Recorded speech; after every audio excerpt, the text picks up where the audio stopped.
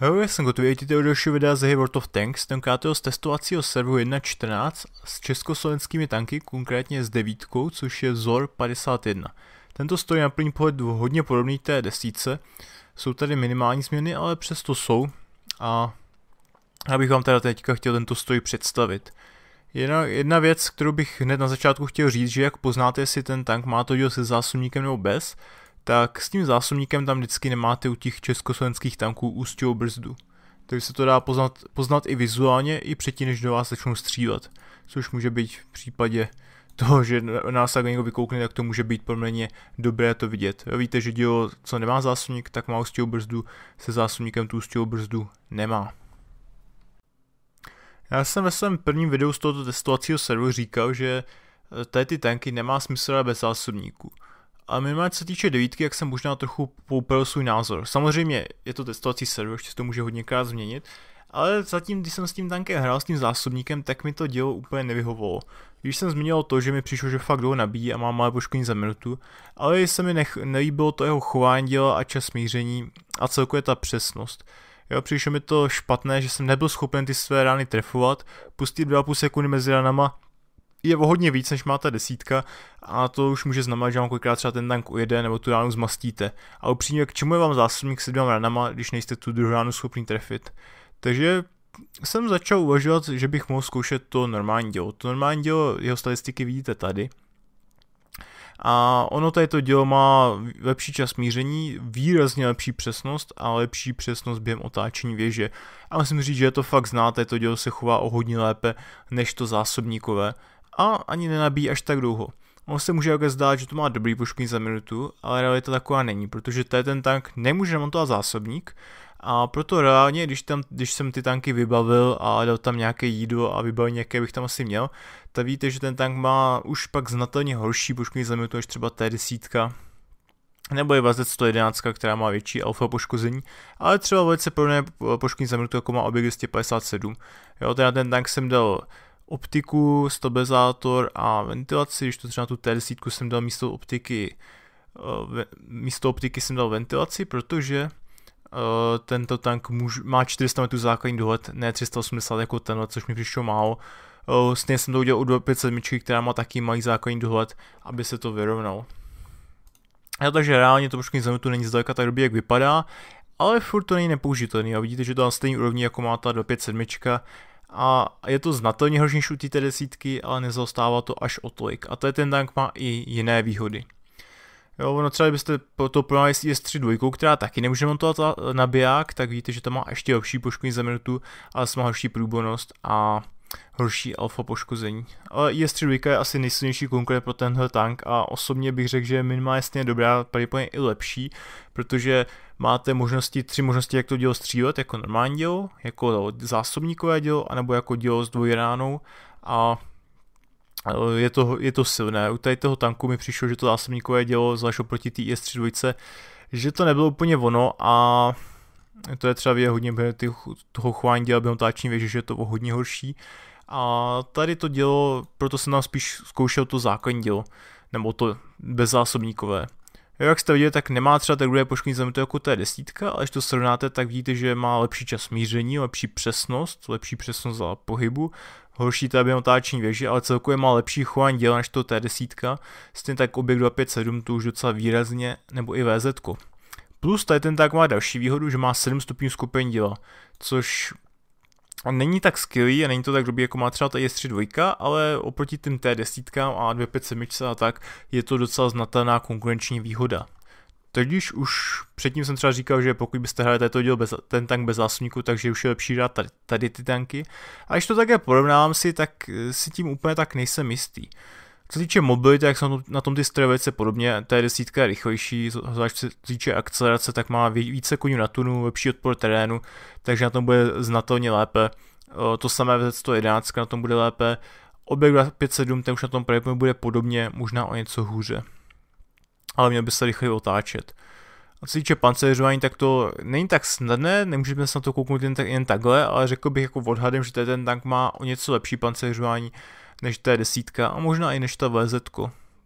pak je teda, teda horší ten dohled, máte 380 metrů, už to tady ty ostatní tanky víte, že má, ten má 390 a tady ty mají 400, což je znatelně lepší a umožní to tím tím strojům být docela dobrý dohled, i pokud tam budete mít tu ventilaci místo té optiky, tak u toho tanku bych tam třeba rád dal turbo nebo něco, ale podle mě tam už, ta, už ten dohled by byl fakt moc špatný, že ta optika už si to možná zaslouží jí tam používat. Tak si jdeme mrkou na pancéřování tady toho stroje. Hned z začátku horní plát víte, že jako není to žádný zázrak, ale není to vyloženě špatného mezi 240 a 250 mm na, na vrchním plátu. To je mě slušný a myslím, že je to něco lepší než ta desítka. Spodní plát je ovšem obrovský a máte tam dost nízkou odolnost, 165 mm, už to přepnu na to živý. Tady vidíte, že ten spodní plát je fakt velký a tady ten cíl vás budou probíjet i sedmičkový tanky, jak ty potkáte. Ten horní plát ten může proti ním fungovat, ale proti třeba de- ostatním devítkovým těžkým tankům, tak už to může být problém a samozřejmě pokud nebudete bombonky, tak víte, že ač tady ty bombonky nejsou tak skvělý, to je mimochodem jedna z nevýhodů, z nevýhod tady toho tanku třeba proti té T10 nebo tomu VZ, že tady ten tank má ty bombonky z ohrom, o hodně horší než tam ty tanky, tak uh, potom ten pancíř už tak moc fungovat nebude. Co bych tady ještě vypíchnul, je u toho podvozku, je to, že když budete chtít využívat, co je dělat, tak ten podvozek může být velice efektivní, protože že tam se vrátíme to živý, ten živý model, protože tady budete mít dost dobrý úhel a, a sice nemůže, nebude to úplně na autobounce, ale bude to dost dobrý úhel. Pokud by se ještě natočili, tak už ano, ale když se budete chtít úhovat, tak víte, že tady máte ty ramena, která pak mají docela slabé pancéřování. A co bych tomu vypíchnul je to, že když budete chtít dělat tohle, to využil se skopení dělat, tak si musíte dát pozor, že vás nepřátelé budou schopni tady trefit do kolečka, treknout vás a automaticky probít, protože to je jenom 30 mm, takže jakýkoliv díl, co má přes 90 mm ráží, vás tady automaticky probije, takže na to pozor. Jo, je to něco podobného, čím trpí třeba Italové nebo některé německé tanky. Eh, stejně je to u, desítky, já myslím, že u osmičky tady v té linii, takže na to si určitě musíte dávat pozor. Potom tady máme věž. Ta věž je asi lepší ukázat takhle. Ta věž je poměrně dost silná. Máte tady představný pancíř 50 mm, což je dost, a zatím máte taky přes 200 mm pancíře, takže to je opravdu dost silný. Tady je taková mezera, kde ten představný pancíř není, furt to tam jako je dost efektivní, víte, že okolo 280-300 mm. Na testovacím serveru je hodně lidí, kdo palí jenom goldy, takže mě tady probíjeli, ale proti základní munici je to téměř imunní tohleto.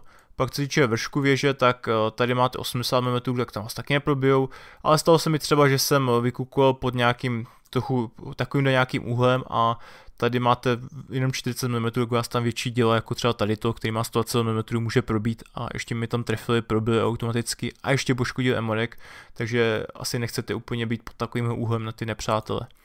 Co je pro tady ten dobrá zpráva je, že má, hodně, má kopuly, která se dá probít, máte tady 200 mm, záleží kam se teda trefíte, ale ta kopule je dost malá.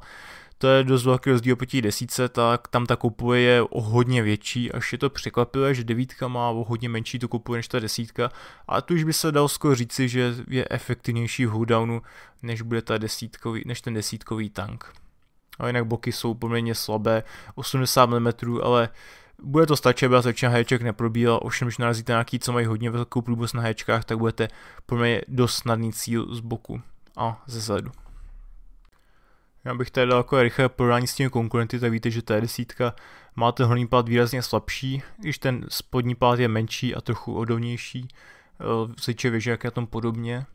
VZ má větší kopule znatelně na věži, horní pád má jednoznačně slabší, spodní pád má stejně silný, no stejně málo, stejně málo odolný, ovšem trochu menší. A Omega 5.7 je hodně odolnější, ale ten spod, a má i menší spodní pád a odolnější, ale se můžete ho s nás probíjet do vršku věže.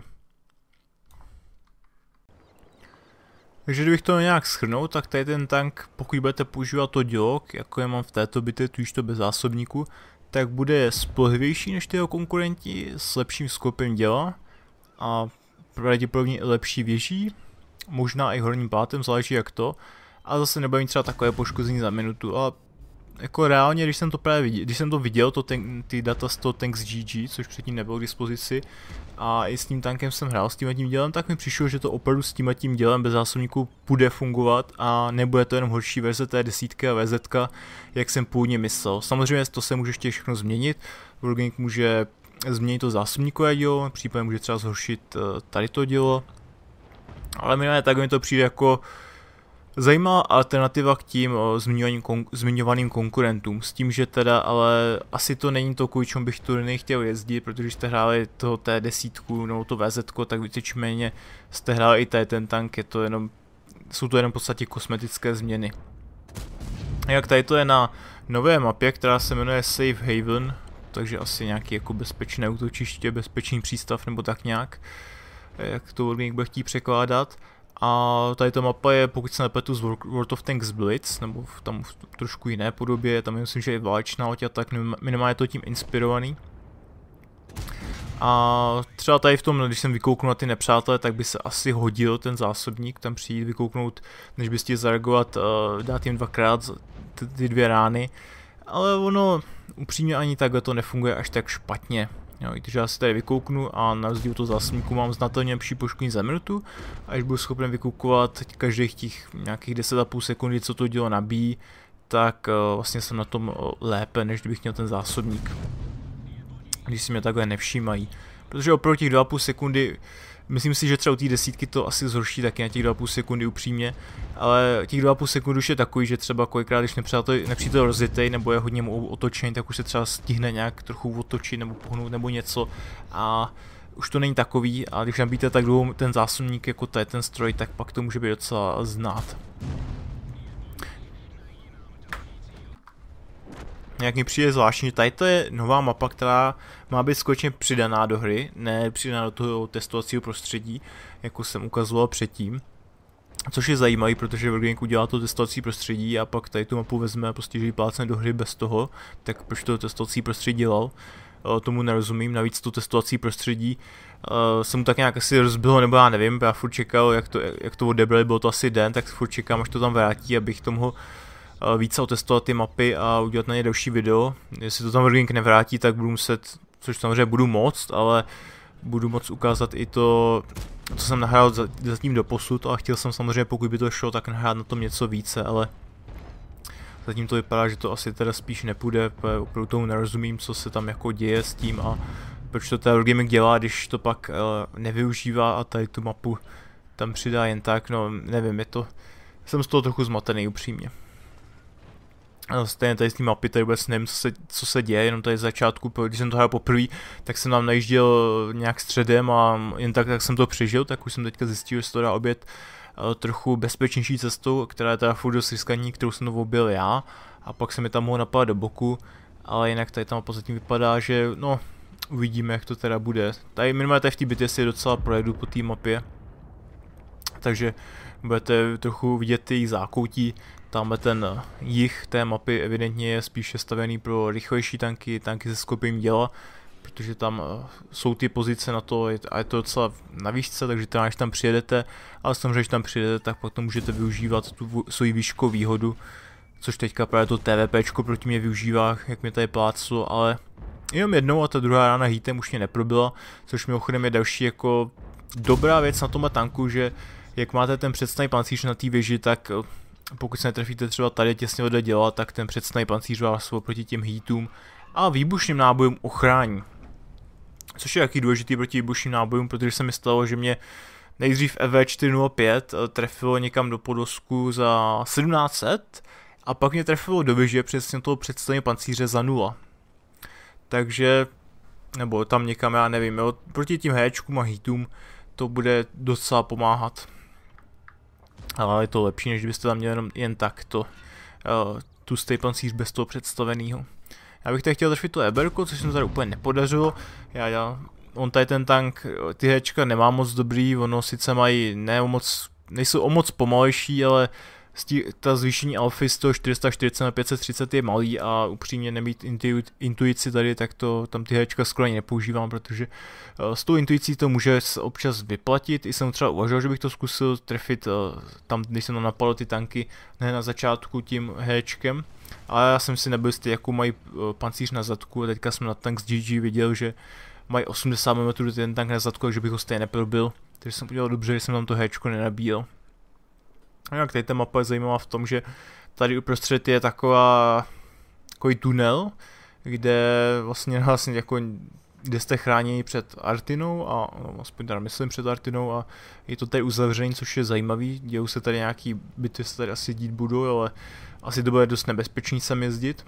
No, víte, tam byly ty, jak jsme tam napadali z boku, že se tady dáme projet, jsou tady dvě cesty, dá se tady projet do toho, k tomu hlavnímu hangáru, tady to jinak by vlastně dost nebezpečný, protože tady budou tanky a tady budou tanky, takže to bych asi jinak nedoporučil. Jinak víte, že to je někde, bude to prepoje někde v Japonsku tady ta, tady ta mapa, ono myslím, že snad tady ta, ten název tady té mapy v těch souborech replayových se jmenuje Japort nebo Japort, takže to asi by mohlo být jako něco jako zkrátka z japonský přístav, anebo to je název nějakého města, to já nevím. Ale dávalo by to smysl a ty znaky, já se v tom nevyznám, jestli to byly korejský nebo japonský, to netuším, ale byly to nějaké jako východní znaky, tak asi by to klidně mohl být. Podle popisku je to nějaký dem, demilitarizovaný přístav, tak eh, tak asi tak, ne, myslím, že tam od kde je, tak se tam úplně nepsalo. No a můžete věc i na, na střechu tady toho bunkru, kde upřímně ještě nevím, jak, se tady, jak to tady bude s tím bojem vypadat, bude nebo nebude. Tady jsem mohl dorazit toho Eberku, ale bohužel ta ústěvá rychlost a to dělo tomu nepřálo. Kdybych měl nabitý bombonek, tak by se možná trefil, protože tam ta ústěvá rychlost je lepší, ale upřímně ne o moc.